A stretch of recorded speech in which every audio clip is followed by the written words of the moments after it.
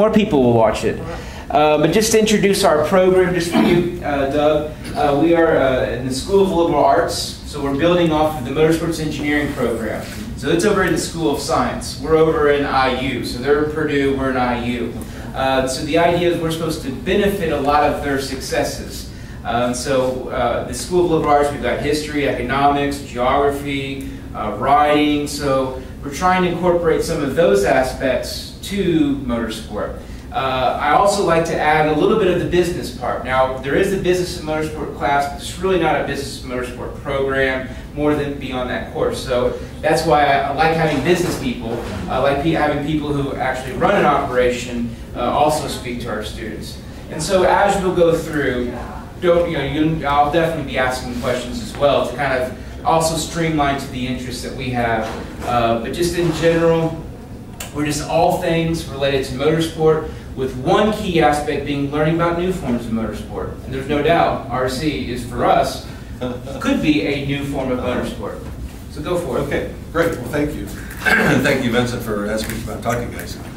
Um, just a brief little bit on my background, who I am, where I came from. I'm, I'm this is my hometown. I grew up in Indianapolis. Um, I went to uh, high school here, and then after that went to the military, and after that came back, went to IU down in Bloomington, and I got a degree in finance. Back then it was before the Kelley School of Business. Um, but anyway, so that's what got me started. From there I went to work the, in a bank in St. Louis, Missouri. Uh, I worked there for about 10 years and uh, got into the trust department, which got involved in investing, which is what I, I really loved. That was my, my background. I bought a piece of um, land when I was in the service. Um, I bought a piece of land out by Geist Reservoir. And then I got called away and went to Italy for three years. I came back and found out that my land had tripled in value. I thought, man, that was awesome. I made a lot of money and I didn't do anything. I made a lot of money actually. And uh, so I thought, man, if I knew what I was doing, I really, I could be good at this. I could be dangerous. I could be really good at this. So I wanted to go to business school and learn about finance investing. So again, in St. Louis, uh, that's what I did. I worked as a research analyst, um, following the transportation sector, the automotive sector. Um, I would tell our portfolio managers when they should buy General Motors stock or sell General Motors stock, or Ford, or Chrysler, or Federal Mogul, or Dana, or Eaton, or anybody Cummins engine. Um, and so I did that, and I we did okay. Um, uh, Merrill Lynch from New York City called me up and said, "Hey, we'd like you to come work for us. Do the same thing, just do it for us." Um, so once in a lifetime chance, financial world, capital of the financial world, I got to make it it, right? So we, we, we me and my wife, um, we made a little bet. My daughter was on her way, as our first child was on her way, but I left her in St. Louis. I went to New York, got signed up, got going, got started, and then eventually got her up there. So I worked with Merrill Lynch in New York City for 13 years. We lived over in Princeton, um, in New Jersey, and rode the train back and forth every day to work.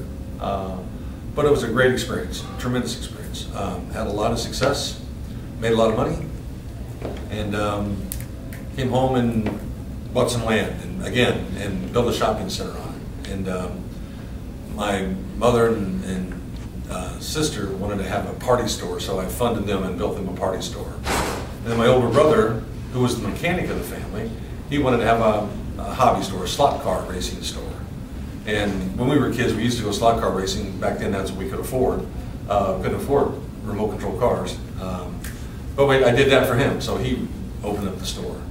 Um, so I worked in New York for, oh, until, again, until I was 45 years old. I came home. I worked there 13 years. I made a lot of money. I came home and basically to retire. Uh, one of my kids, my daughter was getting ready to start high school. I wanted her to be in one place to see high school with the family around. We've been the black sheep of the family. We were gone for such a long time. Uh, but the chance to get to know their grandparents and go to school and hopefully go to IU like I did, like my wife did too, by the way. That's where I met her. Um, so that's again just brief background where I came from. I'm, I'm really not a mechanic. I'm not good at that. I'm a, I guess I'm, an account, I'm a bean counter. I'm, I'm pretty good at P&Ls. Uh, hmm. I'm pretty good at the stock market. That's where I think I actually excel. Uh, but nonetheless, I kind of got drawn into this hobby or this business. My brother, who wanted the slot car business, found out that it was hard work. Um, it wasn't going over well for him. He wasn't successful at it. Uh, he, he, lost quite a bit of money that I had funded up front. Um, he was out of inventory. He wasn't paying rent, you know. he basically, I, when I came home uh, to retire and help out, help out, um, the store was was bankrupt. It was done. Um, so I sat there with him for a couple months, watched what was going on, and then had some suggestions. We got to clean this place up. We got to paint that. We got to fix this. We got to inventory, you know. And uh, he he didn't agree, and he left. And so here I was stuck with something I know nothing about. Uh, so, but I learned. Um, I, I hired one of the guys that was there on the spot, and he was the manager, and I was the employee. I was the janitor. so we cleaned it up, painted it up, made it go of it again, and it worked. Uh, we started making money and doing well. And we've been doing this now, or Indy RC or Indy Slots used to be called, now it's Indy RC. Um, we've been around for, I think we're on our 14th or 15th year now. Um, a lot of race-related RC car shops, or even slot car shops, they don't last very long. They last three or four years, and they kind of come and go, come and go, come and go. But we're kind of proud of the fact that we've been around a long time. We, we kind of think it's more because of our business model, the way we approach things, versus just trying to just race cars. Um, we really do try to hit the family side of the business. Um, like in any hobby, or and even in motorsports, I suspect that you know the high end of the market. Um, there is a high end of the market, uh, very affluent, very, very good, but not really very friendly. Um, guys that you know they've got their secrets. They want to keep their secrets. They're going to beat you tonight uh, this weekend on the track, so they don't want to share their secrets. Well, we do. We share. We encourage our guys to participate and share and help each other. Um, we're more towards, I guess, the lower end of the market, make it affordable, make it fun. Um, don't get too serious. Again, remember these are, in our case, these are toy cars. Uh, these aren't. You're not going to win the keys of the Camaro at the end of the week, you know. Hmm. so we have to remind our guys sometimes about that. Time I try to get them to cool down. Sometimes they get a little aggressive, a little uh, competitive. Um, but again, we're not really catering to the high end of the market, and, and that's what tends to happen when people get into this business. They two or three of the racers will decide let's let's build our own track. Let's let's buy a building or rent a building. Let's go outside and tear up a yard, make a track, and and we'll be in business and we'll we'll make lots of money. Um, that's not the way it works. It's those guys typically are, are high end. They're they're not family friendly. They're not. They don't help encourage people up. They're they're kind of a clique group, and they're sometimes they're abrasive. And if you're not good in the clique group, then you're just not part of it. And Hmm. And, and things just kind of cave in and fall and go away. So, but we've, we've been able to again be around for quite a while. Um, but anyway, that being said, um, we just have a lot of fun with it. Again, it's uh, our guys. Um, I think everything that that they know or see or hear about racing can apply to what we do, just on a smaller scale. Uh, our guys, they have to work on their cars. Um, we have stock classes where you must run this kind of motor, this kind of tire, this kind of body. And instead of calling it stock, we almost like want to call it cost control. We don't want the guy with the biggest paycheck, biggest money, having the best battery, the best motor, the best tire. Every week there's always a new, bigger, better, better, meaner, faster, quicker. And it's just a money game. And you know, there's a reason why Roger Penske wins every weekend because he's Roger Penske. He's got the money. But again, we have a lot of stock classes where Again, it's cost controlled, keep it fun, keep it simple. Um, and that's kind of, again, where we seem to have most of our success. At the same time, we'll have an open class where you can do anything. Um, again, we can, I brought this Indy car, I get a little show and tell, just to give you an idea of some of the kinds of cars in Class B, but we, that we have. We have a lot. We've got NASCAR, uh, oval racing, road, road, road racing, we do a lot of trucks and buggies as well, jumps, and maybe you can see that Yeah, video we'll good, yeah. and how you'll see the guys going over the jumps. Um, But the idea, at least in my perspective, was to keep the cost down, to keep it fun, not to get seriously competitive. A car like this, for example, uh, with the radio, ready to run, may cost two, $250 with a pretty good fast motor. Um, But it would be easy to turn this into a $1,000 car, even a $1,500 car. Oh, You- Oh, yeah. I've sunk, I've sunk in like seven hundred fifty thousand in one truck before. Without even trying hard, it's Yeah. easy to do. You know, I mean, this is a plastic Right. chassis, this could be carbon fiber chassis. um, Jeez. It could, um, we could have, instead of the plastic parts here, we could have titanium or aluminum. Um, Instead of a regular battery, we could have a lithium polymer battery that has a, an extra boost potential. Instead of a brushed motor, we could have a brushless motor with no friction, therefore spins about twice as fast as a normal electric motor. So if we wanted this car to go 100 miles an hour, it would not be hard to do it today, in today's technology. Um, But this car out of the box, if someone were to buy it and just put it together and play with it, this car is probably a 30 to 35 mile an hour car, which is plenty fast, particularly in our location, our building where we race these. We don't have 200 feet long straightaways. We could never use all the power or speed that some of these higher end cars develop. So this is plenty fast. This is fast enough to, to get you going. And and you get a a rush out of it. Um, But again, there's opportunities, everything can be improved and expanded upon, but like I said, we have open classes where they do do that, where they spend a lot of money and they go racing and they take it very serious. And then we have a lot of classes where they're just fun. Um, and so we try to balance it. Every night we have a different kind of race, um, different kind of car, different kind of track. We change our track layout constantly, uh, two or three times a week. Thursday night's oval night, Friday night's road racing night, Saturday night's road racing with jumps. We go off road racing. Huh. Um, Sunday is all day practice day, so all the new people get a chance to come in and just play, just have fun, just practice, learn how to race. So, Huh. um, and we, and, you know, as running a business, um, we try to really support what we race. So our, our hours of business, our hours of operation, we're not like a regular hobby store. We don't open at 10 in the morning and close at 5 at night. We do just the opposite. We open at 5 p.m. We wait till, most of you guys are out of school. Yeah. Uh, we wait till the guys are off work, you know, kids are out of school. They come, they open at 5, a couple hours of practice. We start racing at 7 o'clock. We're done by 10 o'clock and we go home. Huh. Um, Saturdays, we'll actually have two races. We'll run a, an on-road car race and an off-road truck race. Uh, cars in the afternoon, trucks at night. Um, and it just keeps it lively. I mean, it keeps it kind of fresh. If you find, you know, there's a part of the racing or cars that you like, rally cars or buggies or stadium trucks or this Torque Series truck was become really big for us. Um, we've got a time and a place for that. So. Um, We've even kind of taken away from some of the other businesses, like the health clubs. Uh, You know, the health clubs, you pay a monthly fee and you're a member and come in and use the facility 24 hours a day. Well, we kind of do that too. Well, we wanted to keep the cost down for families, particularly for families.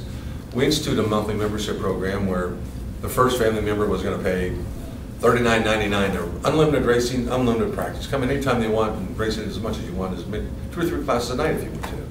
Second family member was $29.99. Third family member was $19.99. Um, and that's been real successful for us. Um, it's, we don't bill their credit card every month whether they come or not. We make sure that, you know, they want to be there that month before Mm. we take their money for that. But, uh, but that's worked out real well for us and it's got, they keep coming back and now they start buying parts. Kind of funny with the internet business, as a retailer and versus the internet. Um, the margins on these two or three hundred dollar cars aren't very good when you buy them out of a box ready to run or even as a kit. You can buy those on the internet all day long. Um, and so there's just not much margin there. Uh, The, the, the online people obviously don't have the overhead that we have. These are almost, we sell these for a tiny profit, maybe five percent. Uh, two hundred dollar car, we might make, uh, yeah, we might make twenty dollars on it after paying the credit card company and things like that.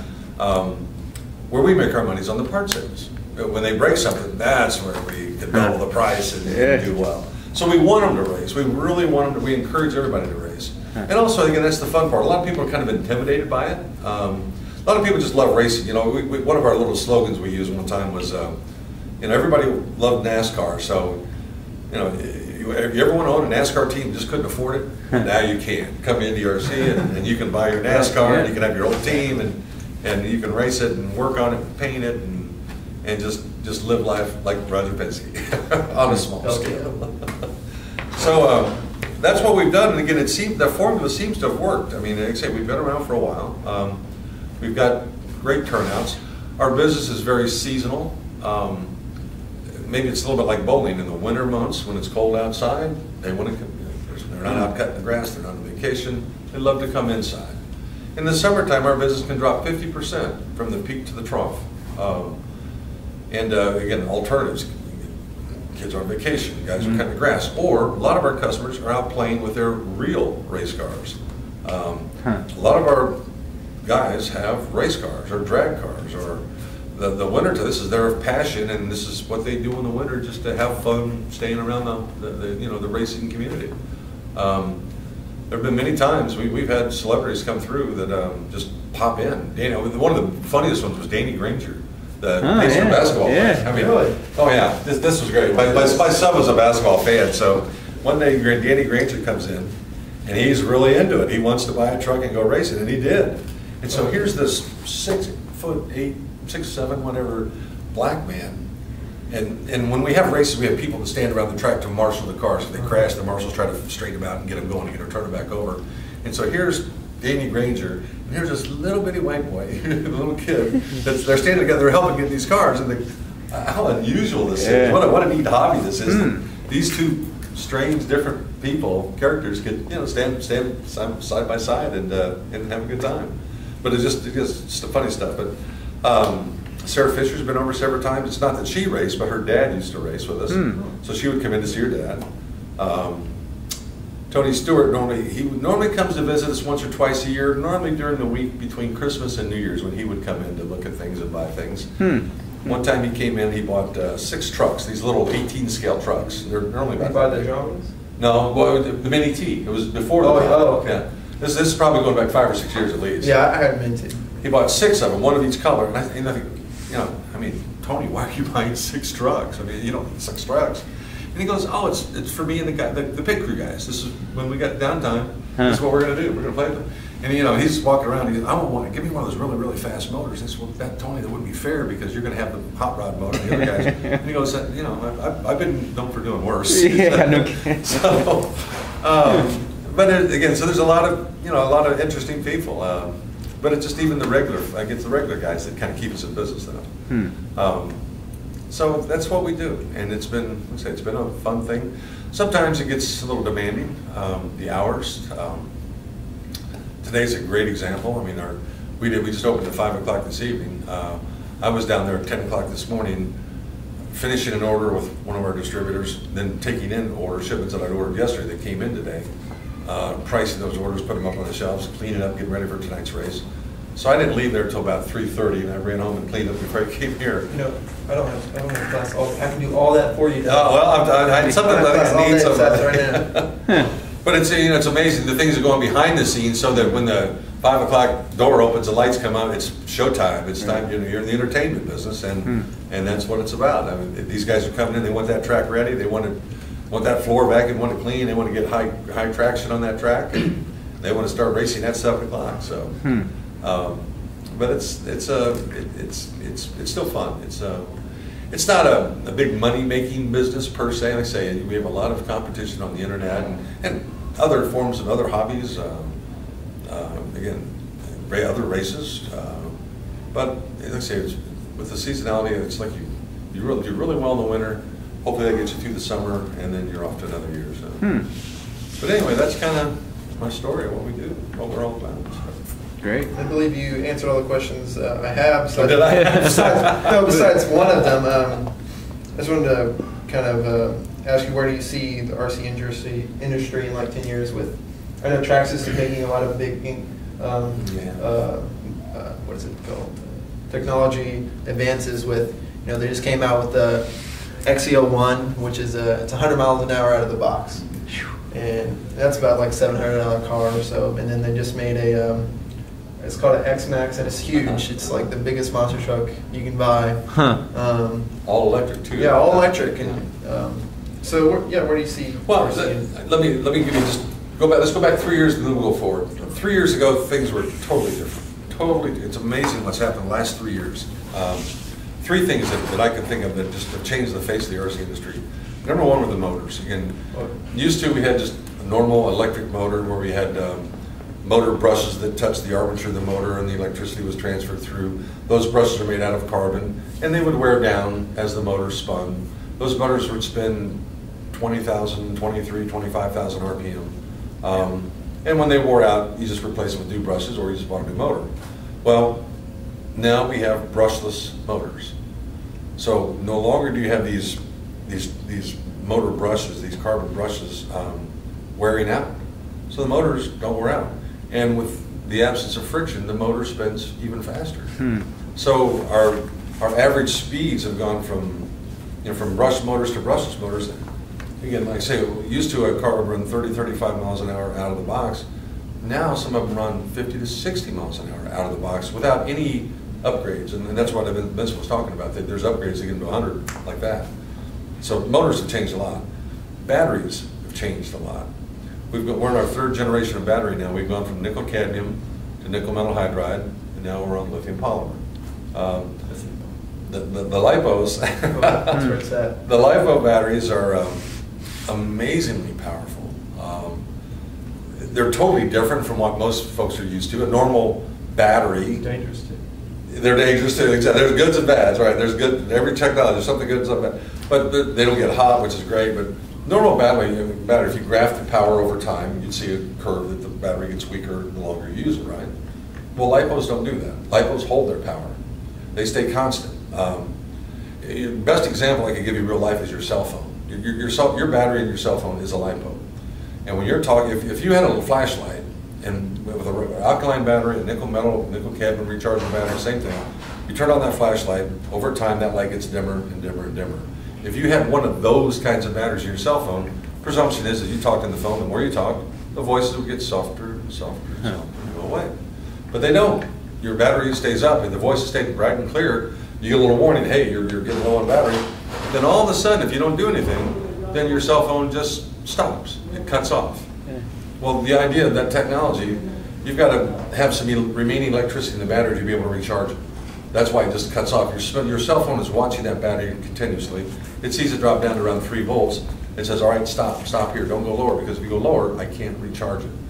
Um, well, the same thing in our cars and trucks now. We've adopted that technology. So when people drive our cars, we of, or trucks, we need to tell them that, you know, if you're in nickel metal hydride mode, you got to make sure your car understands that and is, is let your battery run down to zero. But if you go to LiPo mode, you got to make sure that your car understands that and will cut it off when it's time to cut it off. Um, but the, the, the fun part is a racer's perspective. Again, let's, let's say we get, we graph this performance or power over time. Let's say on the first lap we're dead even. You've got a LiPo battery and I've got a nickel metal hydride battery. Well, on lap number 10, my nickel metal hydride has gone down in power. But your LiPo has stayed up. So on lap number 10, you could be a second faster than me. On lap number 20, you could be two seconds faster than me. On lap number 30, you're three seconds. So as a racer, you love that, that nice level. Your 30th lap is as fast as your first lap. Um, Eventually, my battery may last longer, but our race is only going to be, for example, in this case, let's say five minutes, so 30 laps will be easy. Um, You'll perform the same, your last lap could be just as fast as your first. Presumably, your last lap will be better than your first lap because you've now got some experience on the track, whereas mine is definitely going to be lower. So the racers love them. Um, Not only do they hold their power, they don't get hot, you can recharge them or refill them faster because they don't get hot, but there are some hazards. Um, You guys, I'm sure, have all seen the videos this past Christmas where everyone's got the hoverboard and all of a sudden it catches on fire. That's a lipo. Lipos are very dangerous. The chemicals inside, um, if you cut one open and expose it to the air, it'll go off like a flare, just the chemicals interacting with the air. Typical battery, you cut it open, you get battery acid drips off and get your hand, just kind of wash it off, you're fine. But lipos, uh, they burn. Um, So, good and bad, but they recommend charging inside of an airtight bag and things like that. And and now, in fact, we've gone from encasing them in aluminum foil, now they're all encased in hard plastic and sealed so they can't just bust open. Because we do abuse them pretty bad, we're throwing our cars in the, against trees and rocks and, so, uh, but it can get exciting. So anyway, but LiPo battery, battery technology is improved, the motor technology is improved, and the final thing, again, is really important from my perspective, is the radio technology. Um, Used to, we were all in the AM frequency band. We had six channels available to us, uh, one through six, color coded, red, bl- bl- red, brown, blue, black, green, orange, yellow. Um, and then we got the FM band, which was great because we had 30 channels on the FM band, channels number 60 through channel 90, which was great. But every time we had a race at our, our place, we had to impound everybody's radio. If you walked through the front door, we needed to get your radio. We put a piece of tape on it, write your name on it, and we'd hold your radio. We couldn't let you work on your car with your radio in the pits while the other guys behind us were trying to race. We thought there would be interference. You'd get on the same frequency, the same crystals that mm. they would have. Mm. Well, the cell phone. Again, we stole that, the 2.4 gigahertz spread spectrum technology. Now, we've now incorporated that into all of our radios. So now, a, a radio to power the cars is just like your cell phone. It, it's channel surfs over 900 different channels, finds one, binds in, blocks, blocks in, and then blocks in back to getting on that. So now there's no more radio impound. It's wonderful, fabulous. Hmm. You can work in your car and there's 20 people behind you racing and there's no chance of interference and it just, it works. It's, it's amazing. So Hmm. those three things, uh, the last three years in batteries, motors and radios, it just, it's wonderful. The price has been coming down as well. So now the cost of a LiPo battery is almost the same as a nickel metal hydride battery, maybe two or three dollars more for the same size of capacity battery. Uh, the radios, they're now giving these, this great radio technologies now when you buy a ready-to-run car, even in a cheapo radio, they've got that technology built into it. Um, so and you should see now the fancy digital radios that can do even more than that. Um, but it's really, uh, it's made the hobby, the cars are going faster, they're, they're, they're, they're, they're they're running better, there's less interference. Um, it's just, it's a pretty neat thing. So, long answer to your question, next ten years from now, I don't know. I, what, I mean, I'm in heaven already. Things have been great. Um, but. Right, I mean, the reason I ask is because, I mean, I came in when all that was already done. Yeah, I see was like, well, I don't know where it's. Yeah, where- Besides carbon fiber, making everything carbon fiber, what else can you do? Well, it's really, it's, again, it's, it's, I'm just amazed on the technology side. And we've, we've kind of cherry picked from, again, from cell phones and that technology and, uh, again, the battery technology. uh, It's these, again, these LiPo batteries, um, the normal, the normal battery for an RC car is a, used to be a, a seven point two volt nickel metal hydride. And they're the size of a C battery, and you put six of them together, one point two volts per cell, so six of them is seven point two volts. Voltage is power. That was the stand, that was the normal battery. Well, these new LiPos, instead of six cells, they're actually, they're two cells, and they're long, skinny cells. Physically, they have almost the same dimensions as the other six C-size batteries put together, um, but they have a little bit more power, 7.4 volts. But, but that's not the end of it, though. Well, what's happened is these LiPo batteries, now they're making three-cell LiPos instead of just the two cells. So the three-cell LiPo bumps the voltage up from Hmm. 7.4 to 11.1. They make a four-cell LiPo that bumps it up to 14.4 volts. Um, That's how we go 100 miles an hour in these electric cars now.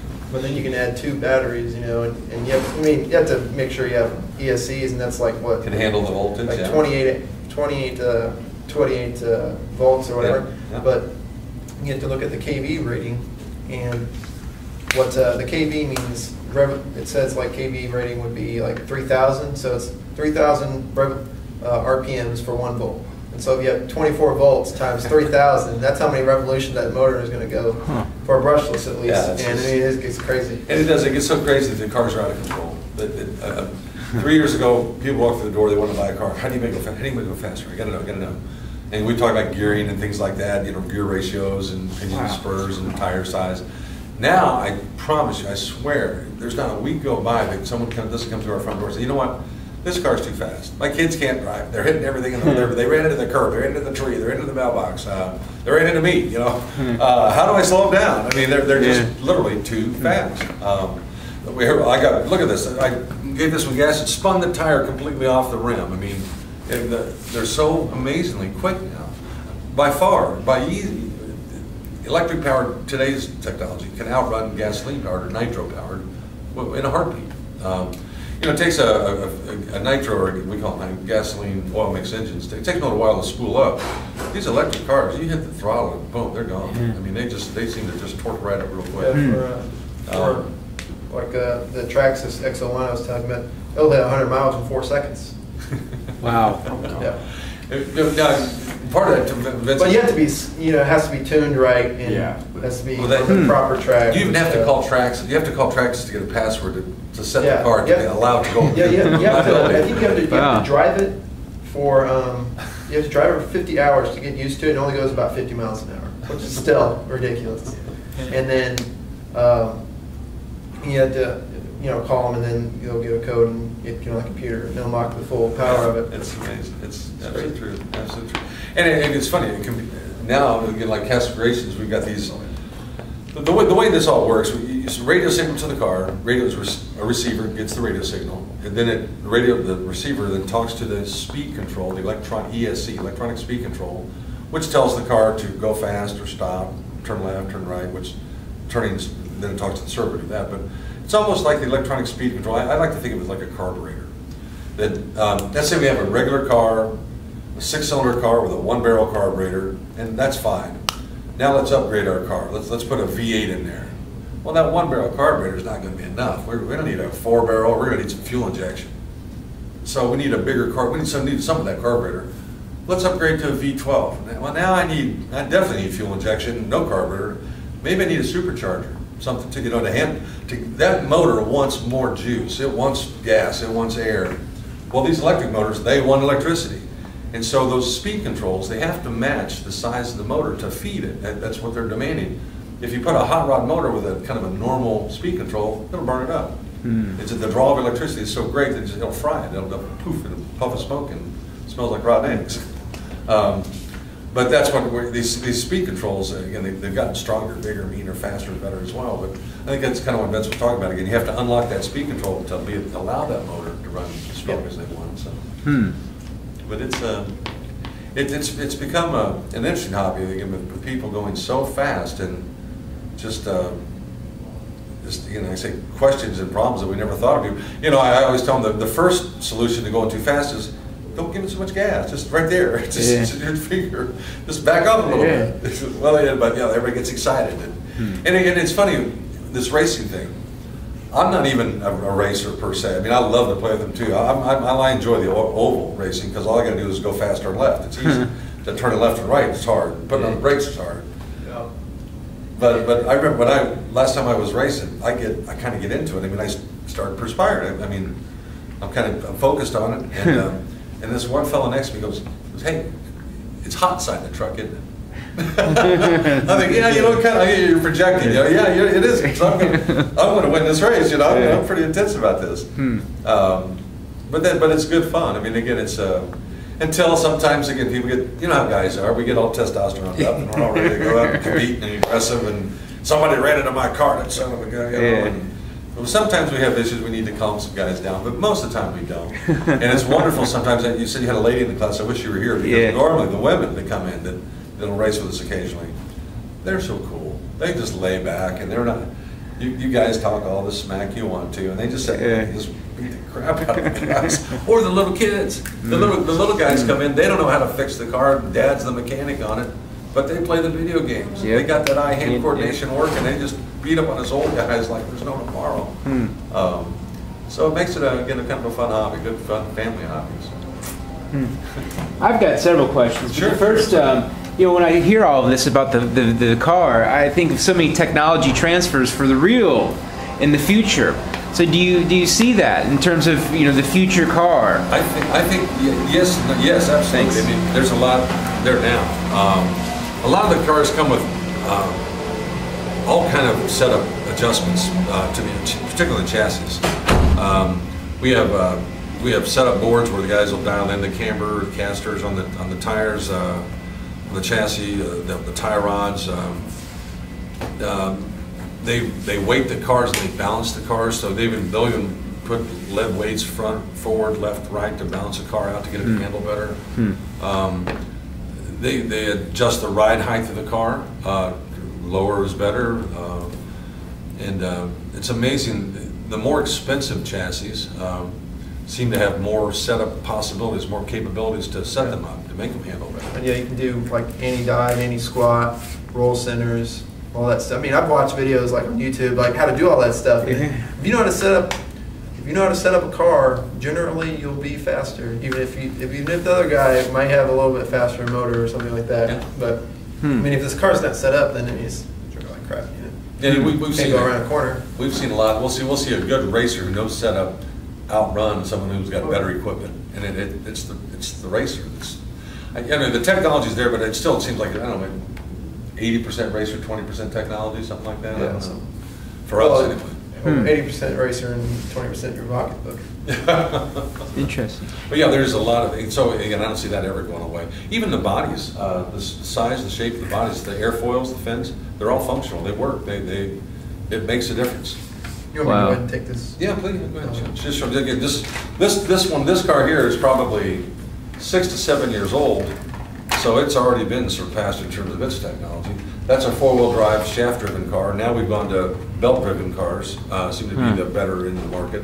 They're not Uh, as reliable though. Well, they, less But rotating mass is what Well, they've got. Yeah, but, Huh. I mean, they, uh, they go, but their, um, their belts can, you know, wear out like, you know, a motor too, like a car or something. But like the shock absorbers, the guys, they'll change the weight of the, the oil in the shock absorbers, uh, make them stiffer, lighter. Um, They'll put, just like a NASCAR, take around a wedge out or, or take a spacer out of a spring, they use Yeah. spacers in the springs to stiffen them Hmm. up. Um, In this car, it happens to be horizontal instead of vertical springs, but shocks, but that's more like a, Huh. an Indy Wow. car, if you will. But Hmm. It's, uh, it's, again, so yeah, I- the technology, I don't, I don't think it ever, it's racing, I don't think it ever stops. Yeah. Um, And our guys have a, even in our stock classes, which I mentioned before, how we try to have stock classes with rules and limits, to try to keep the spending down so you can't put too much technology in Mhm. the car. That doesn't preclude these guys from trying to push the limits. Right, Yeah, it's, man. that's I was racing. gonna say cheating, but- but that's, That's, they try to push it as far as they can, and it's all about technology. that's how the real, the big leagues is. Well, every driver knows that everyone that walks through our front doors, they're the best driver in the world. So Yeah. if, got, if I got beat today, it's because he, Yeah, he, he uh, cheated. spit- Yeah, he Yeah. cheated. He did something. so. Yeah, that's how I feel sometimes. Yeah. Hey, Let's not race, I'm like, Huh. got more money than me. You know, this seems so so useful for the STEM movement, for science, tech, engineering, and math, especially in our K through 12. I mean, you, you can, you know, future engineers at, at a very young age or at you know at the entry level can learn about gear ratios, can learn about you know these things that in you know in in you know at the at the track actually they would work on. They practice, yeah. putting a wedge in and all of that. Yeah, it, it, you know what, I, I again, maybe it's just me, but we've been, like I say, we've been in business now for, again, 14, 15 years. I have seen person, I mean, uh, young kids come in, they're eight or nine years old, they're now grown men, they're, they're, they're 24 years old. Several of them work in IndyCar teams. I mean, their Sure, passion, there you their go. family was in Exactly. racing. And they started with us, they really started with us, and it's, um, it's, it's kind of fun to see it, uh, and I'm talking about drag race guys that, um, uh, one of our kids won his Wally, and now he's into the drag racing business, and another's Huh.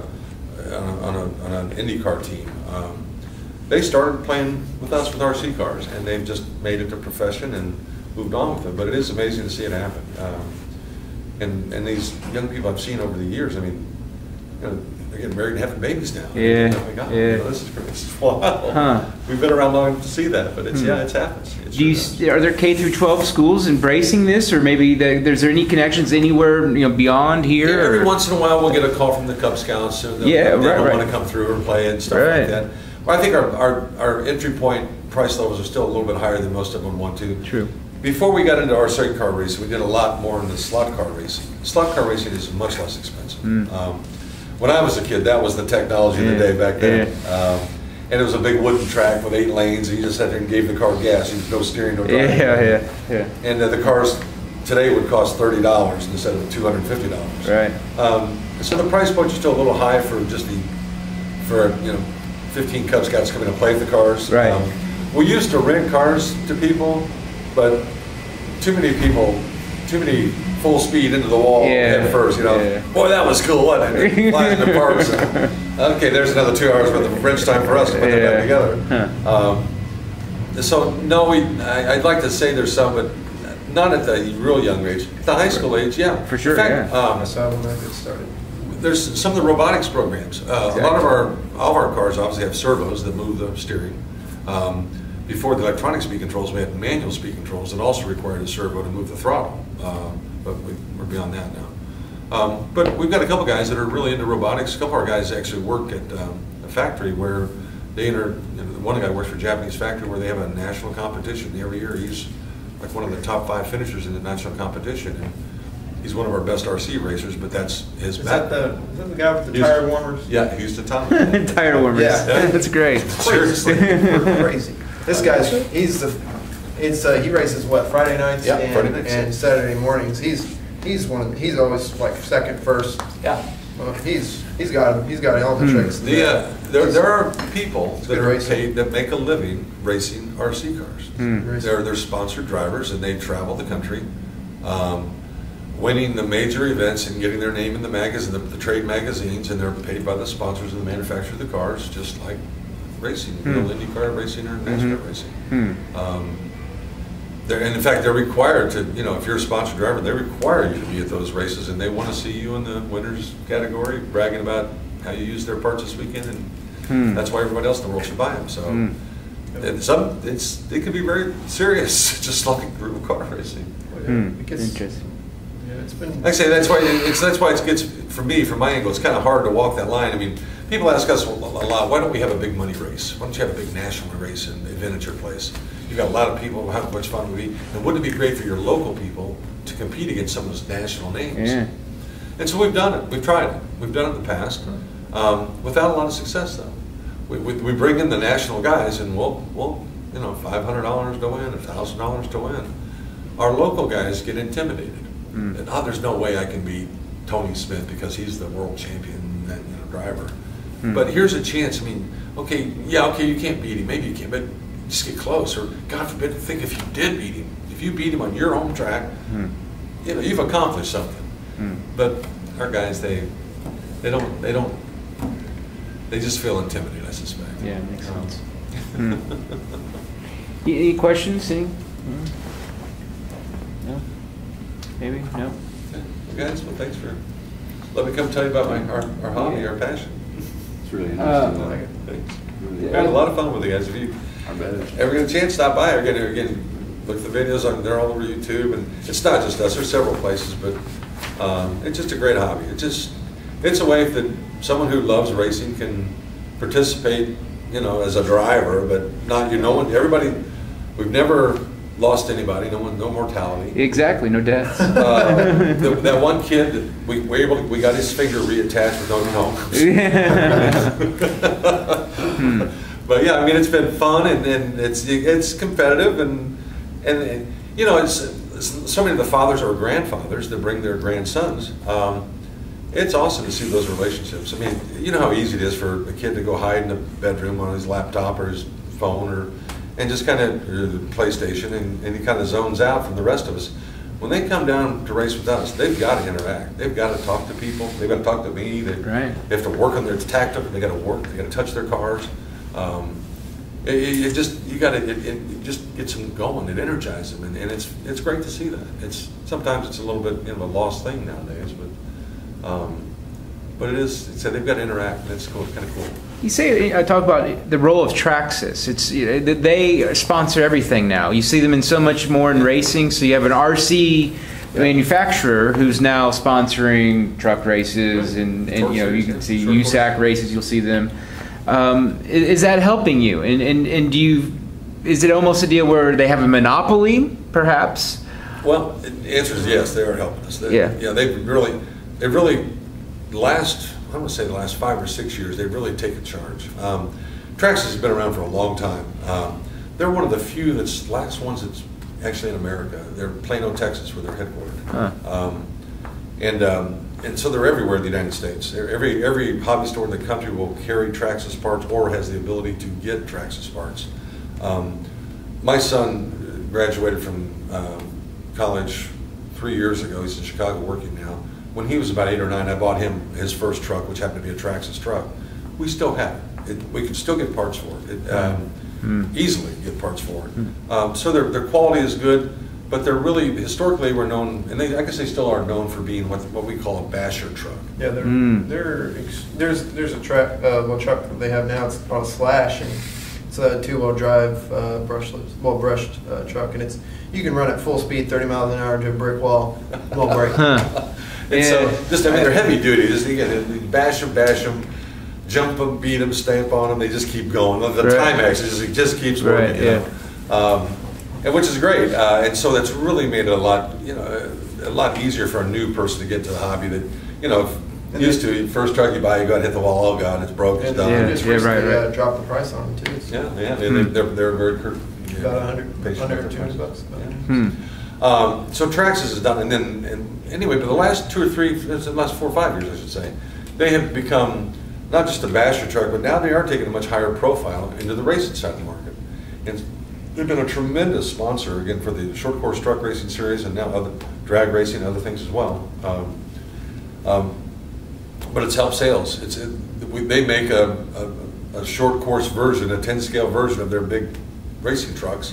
Hmm. Um, and they were the first ones to market. They, they, they were really crafty. We, we thought before they were a little stodgy and sleepy, but they woke up or something happened. But they, in this case, they were first, and they captured the market, market uh, and it was tremendous. It took about a year for the other manufacturers to catch up with them. So Traxxas still has that reputation of being a, again, a durable, well-built, heavy-duty kind of a truck, but it's still not known for being the fastest race truck. There are other manufacturers that are, got more of that racing tradition. There's a one Team called Associated. Team Associated and Losi. They're the Losi, two. It's, it's almost like Durango, we- Tamiya. yeah, we kind of tell people that the, the Traxxas, that's the old GM Ford, that's the Huh. bang it, that car will blast forever, you Yeah. know. But the Ferrari Porsche, that's that's Huh. Team Associated Losi. That's um, Interesting. higher end, more adjustments, more money, Yeah. um, a little more fragile because they're going quicker. Um, but the Traxxas, you just stand on it. So, so at our place, we do both. Like I said, Hmm. The Traxxas has become our stock class where we keep it cost Hmm. controlled, keep it new people, very durable, perfect, perfect for them. And then the higher end, you want to go faster? Here's the open class. Buy the Losi, buy the Associated, put in the four or five hundred dollar motor system, go sixty-five miles an hour. Um, but make sure you can make the turn at the end of the straightaway, because if Mhm. you straight to that wall is gonna hurt if you, Hmm. if you don't move. Um, and so we do both. Hmm. Um, but yeah, Trax has been tremendous. They- They've done, it, they've been just superb. Uh, they've done a lot for the hobby and again, and a lot for racing, so. Yeah. we I really. was at uh, Mid Ohio at an IndyCar race, and they were in the fan village with the demo, and they were having a car. I mean, they were just trying to. It was doing flips, it was landing on its top, and then rolling over somehow, and it's just got a really good good product placement too. Yeah, that's another thing with the new um, monster truck they have. It's you know it's pretty durable, but when it's on its back, it, it self-rights Self-righting. itself. Yeah. Yeah, the self-righting capability. Shoot. And that, that new truck, but we were talking about LiPo batteries earlier, about two cells and three cells. The Yeah. new Traxxas truck, the, these, it's gonna run on two, Six. three cells or six cell LiPo batteries, which is just Hmm. amazing. Uh, but again, it's a huge, big, heavy duty truck. It's a fifth scale truck. It's Hmm. big. It's big in Pittsfield, I think, but I haven't seen one in person. Uh, Oh, we, we, we had one at the store, we already sold, uh, we You sold out, sold sold out, they, they Yeah. can't get another one, we're get back it ordered for more. Huh. Um, the tires on this truck are as big as the other old mon, as big as an E-Maxx. Oh, So it's just, it's, it's fifth scale, it's probably, I don't know, three feet long and a couple feet wide. Wow. It's just a big old nasty monster truck, just run over everything. Hmm. not much for racing. though. Yeah, not, that, that one we don't race, it's where we're at, it's just, we don't have the room for that thing. And of course, there's other other um, industries in RC like RC, rock crawling. Oh, gosh, yeah, there's, yeah, there there are a lot of variations of, Rock crawling, drag racing, um, of course, planes and boats. the- the- now the Boats, yeah, quadcopters yeah. are all Yeah. taken over, but. Yeah. Huh. But yeah, but he, he's mentioned uh, like rock crawling is a real big part of the hobby now, where they take these trucks. They, this is really more of a scale part of the hobby. Yeah. They want the trucks to look like a real, Mhm. honest to god, everyday Yeah, truck they- you see on the road. They, Hmm. they, you know, you can look at a truck and it looks exactly like a real one you have out in the parking lot, but that's a two thousand dollar truck. Right, right, And yeah. the truck you got out in the parking lot's like a thousand bucks. or and they, and, they, and they, they compete with these trucks. Also, they run them over obstacle courses in a timed event. So they have they'll put the tennis balls on a big pile of rocks and here and here and here, and you've got to drive through the course like a skier, like a solid skier, um, without tipping over. If you do, you can use your electric winch to winch your truck back up. And We're going to time you also. So fastest one through the course with fewer fewer demerits, and fewer Yeah, penalties. You back up. Win the race. Have Huh. to If reset. you have to, back- that's right, you got to back up, that's a penalty, that's, yeah. So that, that, that's another form of competition, the RC. Interesting, that they yeah. Lipo, these batteries, can they ever be used in our cars down the road? You think? I don't, I, I. Is that- I, I don't know I, I if, uh, suspect they've already that or better already. I don't know if Formula E is probably using them Yeah. already. I mean, I would suspect they were. It's like Tesla, those few, I think some of that's already, that, they've probably already gone beyond lipos. that- Right. There's a new battery technology out there. Already? They're trying to, yeah. And that's where you know, you, what a great place to test out these technologies. You know, obviously not humans strapped to these things. But, I mean, I uh, really do, I think all- everything that you learn in racing, in one way or another, can be applied to these small cars. I Mhm. mean, they- Basically, they are scale models of the real things. Right. And, uh, and so, the same dynamics, the same, same things that affect the performance of a real car will affect the performance of these models on a scale basis. And it's funny, on a scale basis, we're talking about these 10 scale cars running 100 miles an hour, or 30, even just say 30 miles an hour right out of the box with with, with inexpensive components. Well, that's 10 scale. If we were to multiply that 30 miles an hour times 10, they're running 300 miles an hour.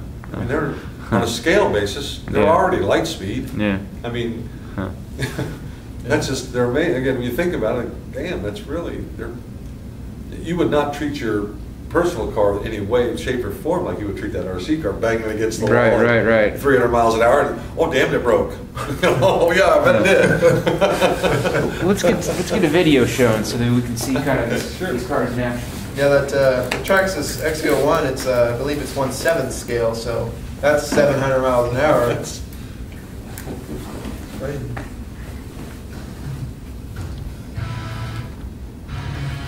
These are, we're going to talk about the cars or Yeah, anything, or? that's, uh, those are 10 scale touring cars. That's what we race on Friday nights and on Yeah. Saturday. I have one of those. This is Um, mine. I think that one actually, I remember was mine. I think Yeah, I think that one mine. is. Yeah, they all real scale bodies, you can get pretty much any car. So do, do the different bodies play a role as well, like different downforce? Yeah. and- Yeah, I mean, there is, there is a class that, um, there's like a tran, what is it, Trans Am or something? Yeah, something? Vintage Trans Am. Yeah, you can only run like, you know, sixties American cars or something. Um, but yeah, whatever, whatever fits your fancy, you can run. And so that's piping, you can move and move around all the time? Yeah, yeah, the- exactly. The walls. Yeah, it's a, it's a custom rail system, you have little clicks you can change the track in 10 minutes. That's awesome, that's great. We're actually running on a carpet surface too. It's an ozite carpet, which means it's little glued pieces, so there's no tread, there's no, uh, no left-right bias to it. Oh, It's right, just- right. It's a, actually, it's a fairly inexpensive carpet, but it's pretty durable. Huh. Yeah, how many times have you that replaced, you know? Uh, three, with three, three times in the last 15 years or something. Wow. So, we're probably getting, we're getting close. So then grooves, I'm sure the city forming the. Well, I mean, we keep moving it around. Moving it, yeah, Yeah, we keep, that. we'll move it. vacuum it and stuff, and cleans it up. Huh. And so I saw, I heard you mention off-road and on-road. So what, what are the differences, the The, differences? the, that track would be considered on-road. All we would do to make it off-road would be to throw jumps out. Right, right. Uh, we would put jumps out with BMX bicycle, we found that BMX bicycle ramps seem to be the best. We can carry those out there, drop them down. We put down a little extra carpeting so as they jump over so they don't hurt the underneath carpeting. Um, and so we'll put three or four jumps around the track and that makes it quote-unquote off-road. We used to have an outdoor uh, dirt track, but Yeah, we did. lawsuit and noise complaints from. No, it's still figure. Because these were, because racing when- since it's out- since it's It's outdoors. gonna kill racing Yeah. golf course. Since it's outdoors, it was nitro and, uh, you know, gasoline they were running. And, Oh, uh, right, right, 'cause you don't want that obviously indoors. Yeah, Or I'm sure, diffuse, yeah. Huh. yeah, so, what's that? See the quarter marshal sitting at the corners, like I said, can you imagine seeing Danny Granger standing there at all? Yeah. In Just that big frame. That is funny. Yeah, I was uh, also Googling um, the World Championship, or, Yes. um, that's where I saw the off-road. Um, Yeah, if I there's- Some of those, um, some of those buggies that they run, at least four scale buggies, they, they've learned how to hit the ramp just right and be able to turn in the air and la, and land in a different position, ready to go around the curve or whatever. That's ridiculous. They're, they're, it's amazing, some of the drivers out there, to how find are. There we go. Yeah, reading, that's the associated type of brand. So as far as the media, is there coverage? Um, I, There is a RC Racer TV on YouTube, but they don't really, they do a lot of, it's over in Europe, a lot of it. so. the standing start. I mean, for that, uh, for the LTO NASCAR, if you guys have, you should do, you should do roller skates. We thought about it, if we could get them to all kind of cooperate. We just did the, it's, I mean, it's very similar to Supercross. You decide whether or not to do, you know, a triple jump here or maybe do a double double. I mean, it's, it's, That's exactly right. It's cars, right. but it's motocross. yeah. Oh my god. And, and this, and I'm not sure what, the- I didn't see the date on this, but I wonder, This is 2015. okay, fifteen, so, okay. Look at it. And great. some of these things can, can weigh, you know, 15, 20 pounds, I mean, they're really heavy, straight chassis. Watch my show. Yeah, they do- Those do wheelies, those, you know, do wheelies. I have a truck uh, that uh, it's it's powerful enough. I'll go full speed and I'll hit the brakes and it does front flips because Huh. the brakes are on. It's crazy. Yeah. Closing back in after giving up that lead. Watch the backside of the triple. The marshalling car. Cavalieri with a mistake. I could, I could see, you know, people bumping into each other and. Oh, yeah. I mean, I mean, if you see if you see some of them, if once they, you can see them when they go over the they go over the ramp, they can stop their wheels and it puts like, it puts the nose down or it puts the uh, the rear down or whatever you know, so it can land just right. Some of those races You- really. You're, you're familiar with the Kitley Avenue, the, the racing that goes on over there, that figure eight racing? Yeah, oh yeah, yeah. Well, we're close to that area, so a lot of those drivers come over and play with us all winter. Yeah. And they're known, those guys, pretty great. Yeah. rough, they're rough people. Yeah. That, when you go to a Kitley race, you watch guys run across the infield with tire irons chasing each other. Yeah. Well, we let them run the figure eight on our track, and at the end of the night, there's, That, so you guys have a figure eight also? well, we can do it, we don't do it every week, but we, we, yeah, we can, we, we can do it, we've done it. That's cool. They really love it when we, they particularly love it when we do that, but Are you the only track in Indy? The only, only indoor? indoor, we're the, we're the only indoor carpet track at the moment. There've been several that have come and gone at the moment. There's an indoor dirt track. How does the brakes work on these? Where's the indoor dirt track? Um, Sorry. It's just like What indoor dirt track? It's um, it's like one, it's like one twenty fourth in like post or something. Yeah, Post It's Road. JCP something, something like that. Um, but yeah, for the for the brakes, um, generally the brakes work really good when it's a four wheel drive like this is, and it just for the motors it just hits reverse, like it. It can, it, the polarity changes in the motors and, it, and it just slows it down like that. And, but I mean, if you get to the fifth scale, there are, um, they have it now where the motors can be liquid cooled and the, and the ESCs are like they're fan cooled or liquid or whatever, you know, with, with boats they are. And then um, they actually have hydraulic disc brakes for the, you know, the bigger ones because, you know, they weigh like 50 pounds or like, you know, upwards, upwards of that or something. You- And that, it's just putting too much strain on the motor to slow it down. Yeah, it's it's beautiful. I to have that track. It's beautiful. Yeah, that's like, uh, that's Europe or something. Well, Thailand. Tamiya has one in California like that. Yeah, it's, RC racing is a lot bigger in Asia, but you don't, they don't do a lot of media coverage, I don't think. Huh. Why, why is it bigger in Asia? I'm, because I think uh, in, well, in China, it, it was communist and um, they, people couldn't own cars. And so, RC cars. Interesting. And so now that's why they have so many cars and stuff now. And what's great is, you know, it doesn't matter, you know, what you look like, how old you are, you know, it's, you can, you can race. You can play, yeah, come on out and play. Once you have good eyeballs. I mean, yeah, like I say, young people have an advantage over us old guys. They got Uh, right, right, yeah. It's not fair. I'm just saying, as I'm aging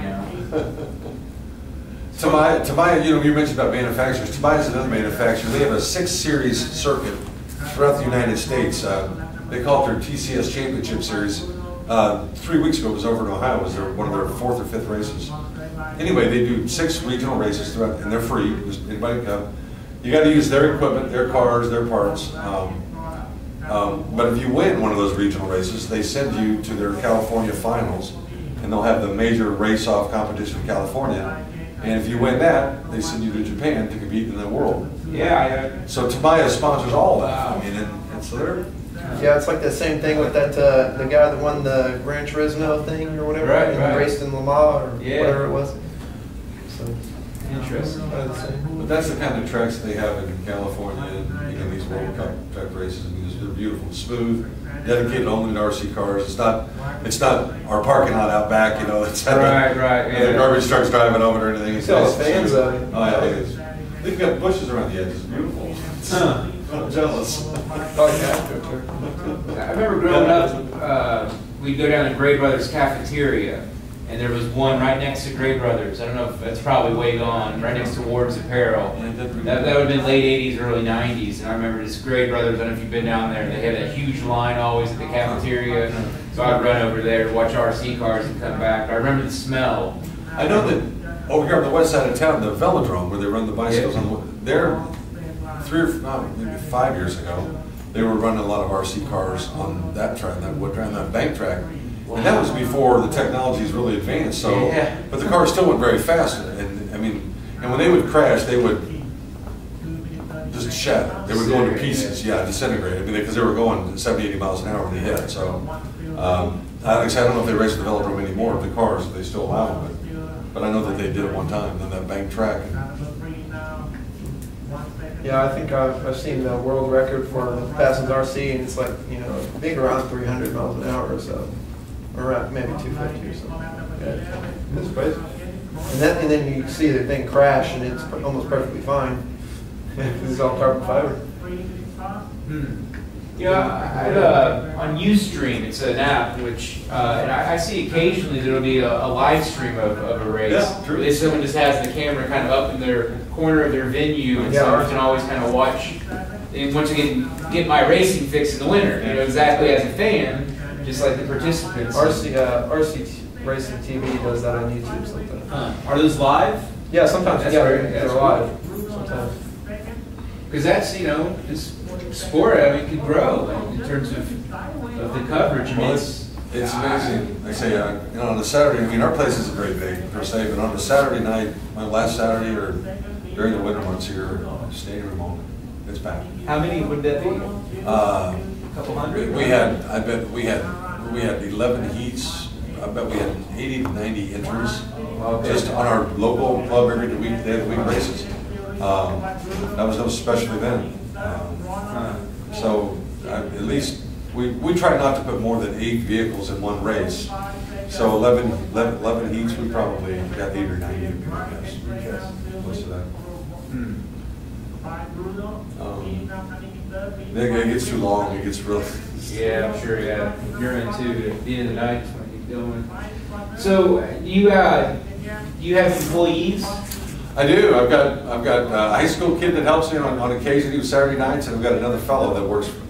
Uh, he works Wednesday, Thursday, and Saturdays as well. Huh. And so we're closed on Mondays. Uh, that's my down day. That's when I do most of my ordering. And I see today is I was putting stuff away. So, and then um, open in the evenings late, and all day Saturday, all day Sunday. Um, but yeah, so just me, uh, uh, another guy three days a week, and then a high school. Huh. You know, you have any suggestions or tips for, for these guys in terms of just, just in general, the skills, you know, that, that would be necessary going forward, just in business? you know things that you've learned that you never would have learned in college, but Yeah. you learned along the way that you could share. Yeah, I, I think it, this is gonna sound kind of corny, but, and so we, we have, uh, not to brag, but we have lasted longer than most of these places last. Last three or four years and they're gone. Um,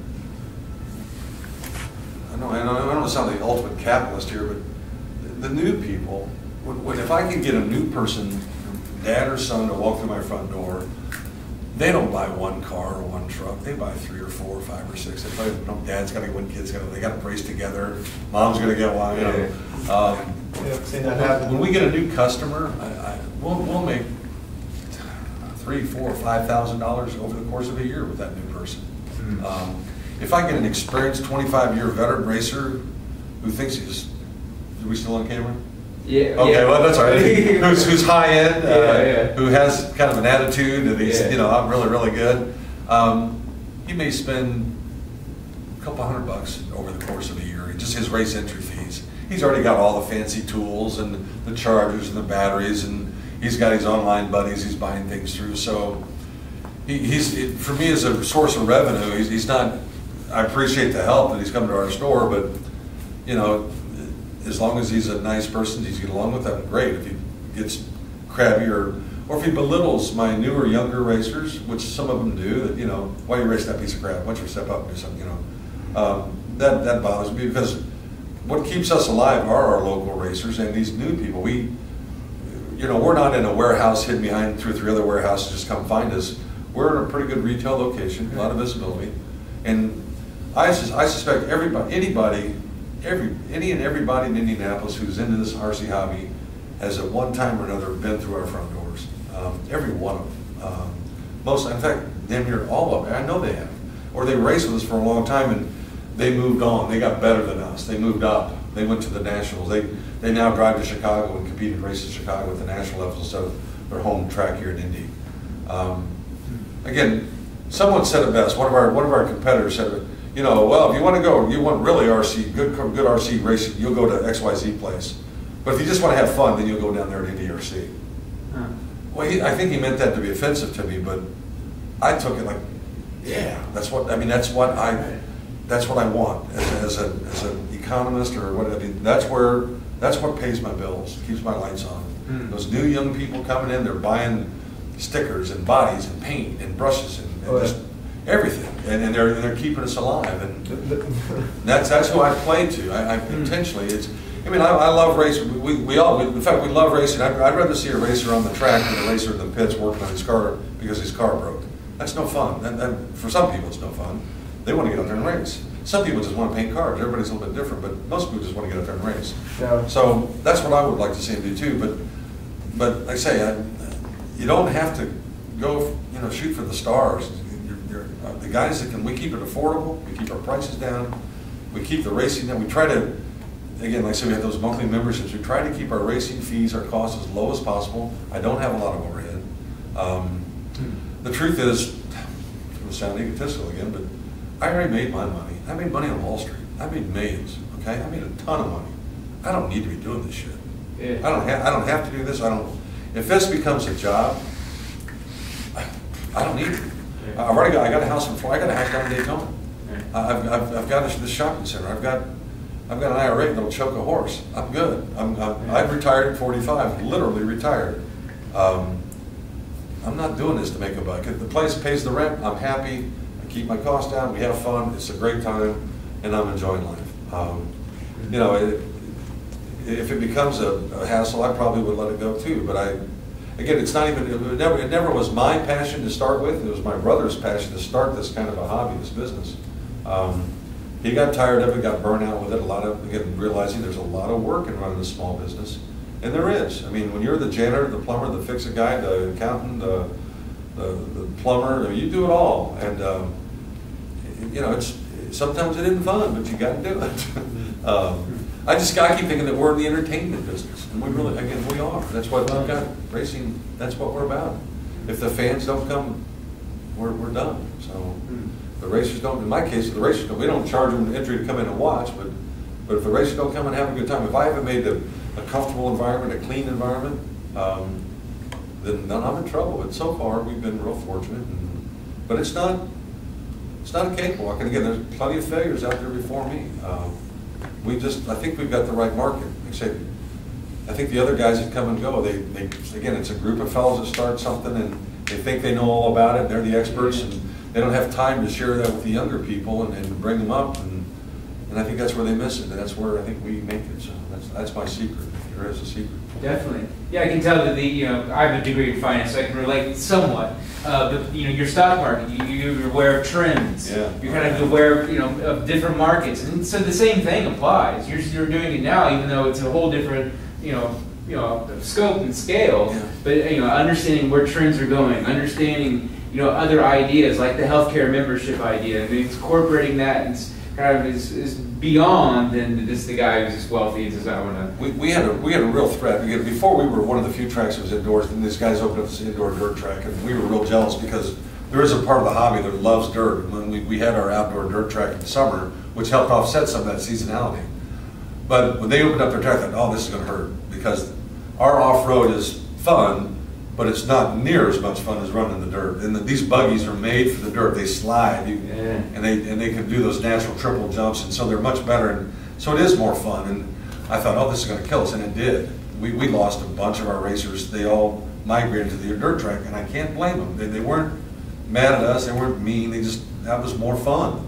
Um, so as a business person, I thought, what am I gonna do? How am I gonna offset this?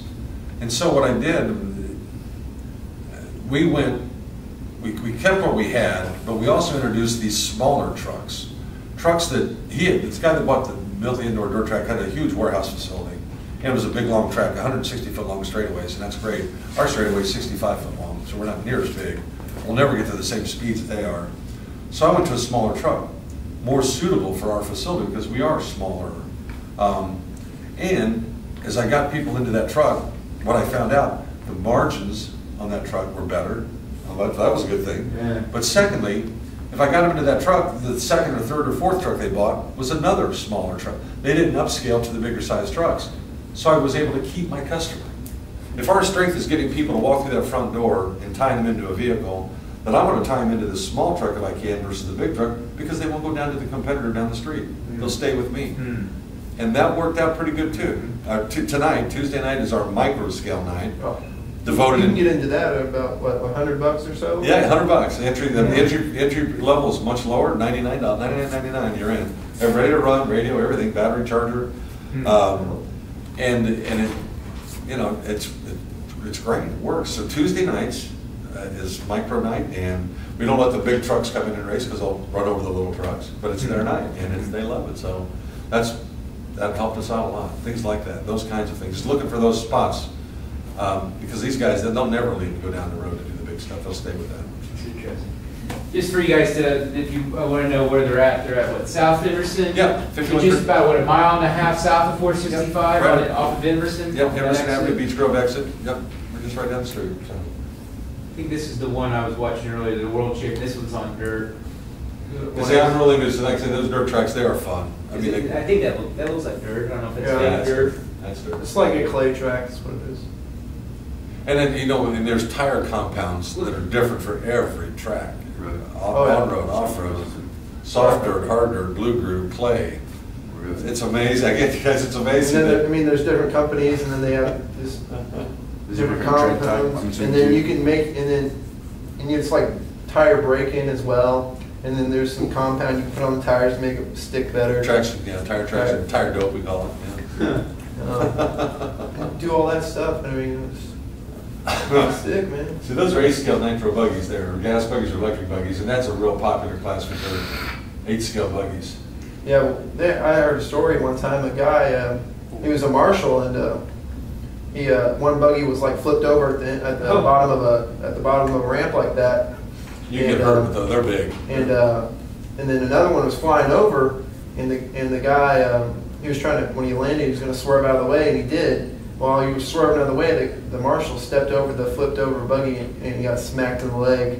He came back with limping. You know? Yeah, the- those, So- those have steel chassis. You see, most of the marshals sit behind the hail bales, or hay, hay bales. Mhm. Um, They hit you, that you've been hit, you, you know you've been hit with one of Huh. So I assume lighter is faster? Uh, lighter is faster to a point, again, what they do with the bigger, heavier vehicles, they just put bigger motors and bigger batteries in them. Right. Um, When you get up to fifth scale, that's where they really become weary, weary about the safety rules. They'll put up three-foot fences. They won't let marshals stand on the track at fifth scale. Um, If there's a crash or a spin out, they'll red light the, the- race and go out, and straighten the cars and restart them. Uh, eight scales they got marshals out there with eight scale, but that's the, that's about the limit. They won't let any bigger, they're just too much of a liability. Fifth scale is about the size of this table, so Yeah, Jeez. yeah. big. Huh. And they're expensive, you know. You get a- One- huge. One-fifth the size. yeah, of one a fifth out of the box, you can get them, you know, made and everything, and they come ready to run about two thousand bucks or so. So on a, on a, on a, uh, remote, is that what they would be called? Radio. Do you have other buttons that they, for example, like traction control or? No, we haven't came that far yet. We haven't. No, there is um, there is this thing. It's called uh, Yeast- it's uh, it's called TS, TSM for Traxxas, but uh, what is it? Losi came out with it first. It's where um, it uh, it counter steers so you can keep going straight. See if you're going on a bumpy bumpy uh, road for off road or something, instead of your car like fishtailing all over the place, it'll automatically it has gyros and it automatically adjusts the steering for you to go straight. And it does the same. And they have another one for drifting as well. Uh, Um, drift, there's drifting, wow. yeah. Oh, yeah. Oh, if you look on YouTube, drifting is huge, especially Yeah. you know Asian Asia, market yeah. as well. It's huge, and they're just like the rock crawling, you know, looking like scale and everything. But let me add, the, the radios though, there, there's even more. Um, A lot of the, the higher end radios, they come with telemetry. Where you do have sensors on your motor, and sensors for temperature. You can, from your radio, you can detect what your car, your engine temperature is. You can watch the RPMs, uh, what your RPM is, your, your actual speed. um, Voltage. Voltage, battery voltage, et That. LED screen? Yes, yeah, Yeah. little, little video, just like your cell phone now. I mean, they're that, they're that three and four hundred dollar radios, but they're digital. Also, they've got the technology, for example, when you pull your, tr- your trigger back, that's your throttle, makes you go forward. When you go back to neutral, then you need to go forward to put the brake on, right? That's how it normally works. Well, now, when you go back to neutral, you can have your drag brake take over so that it automatically begins to brake for even before you go into neutral, before mm. you go, excuse me, into reverse. And you can adjust it in increments of like five percent, so I can have five percent drag brake, or have twenty-five percent drag brake, or what, hundred percent. Right. So uh, being able to adjust all that stuff is now all from your radio, live time, real, real time. As you're racing, you've got these screens, you can see this and adjust it as you're going. Wow. Um, That's cool. So it's, that's, that continues to amaze. Hmm. It's almost like, you know, Formula One, they've got that, that DRS, that wing that opens up when they go down the straights. I mean, you could almost add that, like almost boost as another option. And in the future, like you mentioned, I mean, who knows where it's going to end up. But, Oh, yeah, I mean, Well, those speed controls I was saying before, that now that you- you, now they've got cables where you can hook up to your laptop and you can absolutely co- program your speed control to. you can, you can, the pro- braking, you can program acceleration. uh, the power curve and everything on them too, and co- torque and everything. you want a lot of rollout, or do you, are you doing wheelies already, you want to back the rollout down a little bit, then go to full power? Uh, It's Some of them pretty come cool. stock like that. I know the Dromida, which is about a hundred dollar car, you can adjust the, the throttle, well, the top speed or whatever, and it comes stock like that. You know, and it's not even like, it's maybe like a ten dollar radio or something, you know? They've got dual rate switches on them. Dual rate means when you're a steering servo, if you, if you turn the steering wheel, I tend to over, I get excited. So when I'm racing, I oversteer. I turn it too far, the car does it too much. So what you can do is you can, say full, if I fully turn all the way, it goes that far. Well, I can adjust the dual rate so that when I turn it fully, it only goes that far. uh, So like when I, I told you I like to race the oval, I can have my car adjusted so that when I oversteer, my car will only turn so much, and I'll have it set up for the oval that I can oversteer every time, and it's perfect around the track. Right, right. So, huh, that's cool. um, it's, the, the transfers over. And then they, uh, I know with the, what, with the quadcopters or whatever, they have where you can race those too, but I'm sure you can put them in trucks and you can put goggles on, like put them in the cabin seat and act like you're actually driving the truck, you know, when you have a Yeah. control. Or I mean, they, they have it where, you know, like, uh, uh, video games where you have an actual steering wheel and stuff. I'm sure you can do the same thing with RC car. We can put the glasses on. Huh. So I mean, I mean, it's feels. I mean, you don't have the G forces and the danger, but Right. practically the same. And you can attach cameras. Oh, to the car vehicles And then, so themselves, then, sure. how Yeah, they- soon till you're steering it, but you're actually looking it through the camera that's on your RC car? You can have, you can have your back to the track and Yeah. race your car, yeah. Oh, Yeah. wow. Huh. Eventually, maybe that's where. Well, I'll, they've got, they've got the goggles too, I mean, they're like the 3D flight goggles, that Yeah. you put them on and you can fly a plane or, or or a quadcopter Yeah. and see what's going on in real time. Yeah, the, the tech, again, it's just amazing. Again, and you, you can do all this with your cell phone too, sit there with your cell phone. Right, right, yeah. Yeah. Watch yourself. Hmm. that's what Traxxas did. They um, with their some of the radios they come out with. Um, uh, you can attach your iPhone to the bottom of it. Yeah, I've seen that before. Uh, especially the kind of the real entry level ones, ones you see at Walmart, Oh. where you can, you know, Yeah, some of that. Yeah, same idea. Bluetooth. What it is. See, I think, that, again, with us compared to, for example, the mass retailers, that are, the cars and trucks that we race, they are considered to be hobby quality, which means that, you know, they are better built, and again, they're very component driven. If, if something breaks, it can be replaced. The ones that, when they put everything on the circuit board and something goes wrong, the whole circuit board's Yeah, shot, yeah. and the car's basically done. Here, ours are all components, you know, if the, if the, if the servo's out, just put a new servo, if the receiver's out, new receiver. It makes it so that the cars are repairable, and a lot of the parts are interchangeable. Uh, Yeah, so- well, only, yeah, most of the motors and ESCs and everything that, you know, you can take, a- you can take a fifth scale well, you can take a tenth scale car and put a fifth scale motor in it, you know, and it fly, you can't control it. But I mean, this is interchangeable. so. It's great. Yeah, this is, you know, I grew up with, with one of those who's half the size, and, I mean, I remember when a wing would break, but I don't, you know, I gotta try to glue it back on, but, uh, yeah, I mean, the technology is just amazing, going back to the eighties and nineties. Anything else? Anybody else have any questions, comments? All right, guys, well, thanks for your. Appreciate it, yeah, thanks a bunch. I Thanks a hope that you get, it stays with you. It's a lifelong hobby. This thing is, it's amazing. It's, um, the fathers and sons that, that race together, you, you know, they just, you can just see that and they're loving it. They're, the grand, and the grandfathers and grandsons, like, I can't tell you how much of a, we have a lot of grandfathers and grandsons.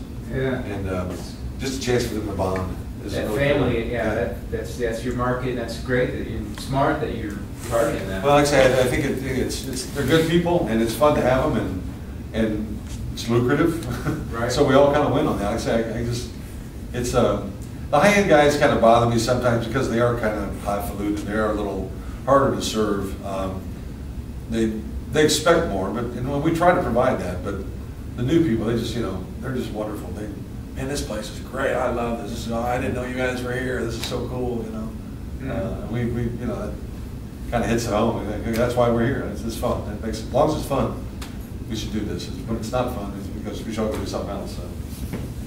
Agree with that. All right, guys, well, thank you, I'll let you you much. get on back to your school. Your learning. Well, that's it for us too. Oh, okay, oh,